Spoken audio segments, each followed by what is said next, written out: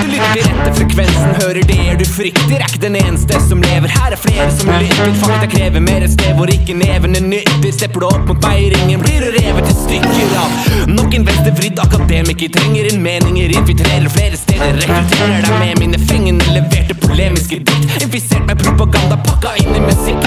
Og sakte, men sikkert vakler det litt før alle dine argumenter rakner på likt. Så vakkert du prikker, flakker med blikket, gjerne vaska av min fucka lyrikk. Du danser uten aning av å bli brakka på slikt. Her er det jeg som trekker i trådene, skrur på alle knottene og setter nivået. Men nekter å love at du ikke har en krig på henda, for dette her er min agenda.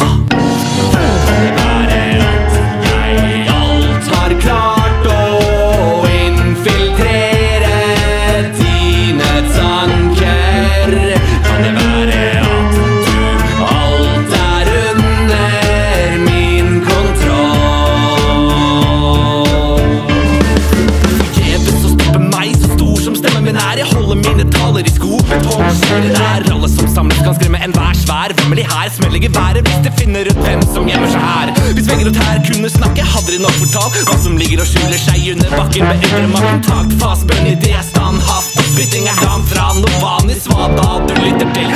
Fryktelig nyttig og ytterst umulig å stoppe som rotter. Vi fugger oss sammen, flammene sprer seg. Jeg mobiliserer flere leder til en bevegelse. Flere roper, ser det koker myter. Flipp eller spille brettet, la brikkene flyte. En lov som er urett, er du pliktig å bryte. Er det